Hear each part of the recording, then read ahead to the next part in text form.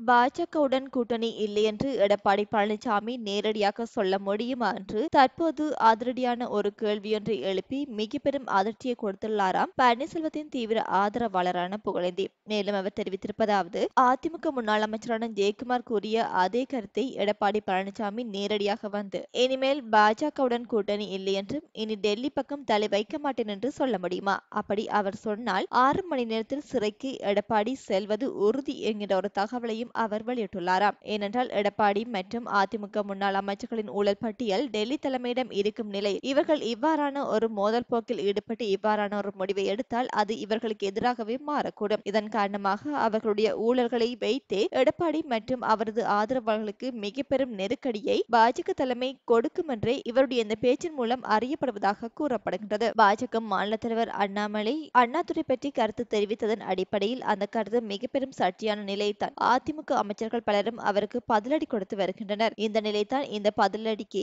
அண்ணாமலையும் பதிலடி கொடுத்து வரும் நிலைதான் இந்த மோதல் போக்கு அதிகரித்த நிலைதான் அதிமுகவுடன் பாஜக கூட்டணியில் இல்லை என்ற கருத்தை முன்வைத்திருந்தனர். இதன் காரணமாகத்தான் புகழேந்தி இந்த ஒரு கருத்தை தெரிவித்திருக்கின்றாராம். எடப்பாடி பழனிசாமி முடிந்தால் நேரடியாக சொல்லி பார்க்கட்டும் என்று அவருக்கு தைரியம் துணிவிருந்தால் சொல்லட்டும் என்று அவர் எடப்பாடி பழனிசாமியை சீண்டிருப்பது தொடர்பில் உங்கள் கருத்துக்களை நேர்களை கமெண்ட் வாயிலாக தெரிவிக்கலாம்.